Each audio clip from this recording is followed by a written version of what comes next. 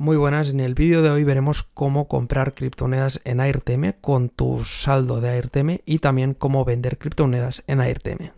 Primero de todo, tienes que tener saldo en AirTM, lo tienes por aquí en balance general, en mi caso tengo 8 AirUSD, que es lo mismo que 8 USD. Eh, si no tienes saldo, lo primero sería fondear tu cuenta. Te dejo en la descripción un vídeo o una lista de reproducción con diferentes métodos para fondear tu cuenta. Tienes aquí diferentes opciones, unos con más comisiones, otras con menos, y hay un montón de opciones diferentes para fondear tu cuenta. Incluso puedes directamente enviarte criptos. Entonces, una vez tengas eh, el USD, podrás ir aquí a la sección de cripto, que es relativamente nueva. Está también la barra lateral, justo abajo de la primera sección y aquí tienes diferentes criptos disponibles, que son sobre todo las principales, eh, que puedes comprar o vender si tienes disponibles, pues venderlas a cambio de AirUSD otra vez. Pues bueno, veremos el primer proceso de compra y luego también el de vender para que lo tengáis en cuenta.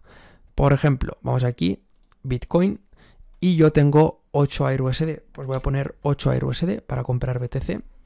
Y aquí me va a poner cuál sería la comisión, que está muy bien, sería 0,03 USD. Le damos a confirmar compra. Esperamos un poquito a que se actualice el proceso eh, de comprar el BTC y una vez hayamos esperado un poquito, que tarda muy poquito, listo.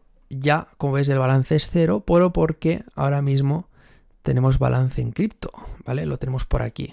Me pone lo que corresponde en euro. Si tienes tu cuenta como principal en USD, pues te saldrá en USD. Así que ahora mismo ya tengo cripto en, Air, en AirTM que acabo de comprar. Dentro de vender verás pues que la cripto con la cual tengo cantidad a día de hoy, pues también la puedo vender, por ejemplo poniendo al máximo y se selecciona al máximo y aquí me dirán cuánto me darán, que la comisión también es 0,03 USD y está muy bien. Así que este sería el proceso de comprar o vender criptomonedas con AirTM. Así que bueno, espero que te haya gustado y sobre todo servido. Y te dejaré más vídeos de AirTM en la descripción y también tienes por el canal. Nos vemos en un próximo vídeo.